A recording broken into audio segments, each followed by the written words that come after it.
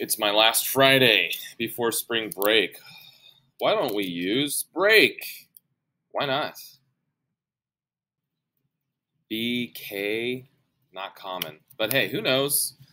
I was right. Oh my gosh, none? Ugh. Okay. Um.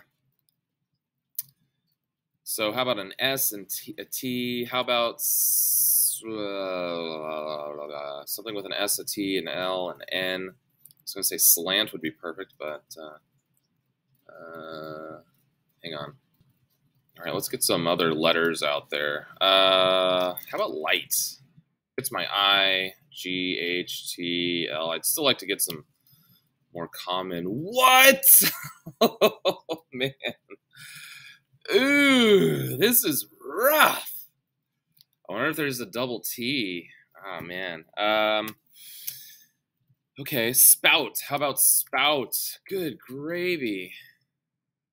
Oh, right. Uh, that was a lucky guess. But with the words I had left, okay, scout, snout, could be scouts, scout or snout. It's 50 50 here. Shoot, I should have put that N in in the beginning.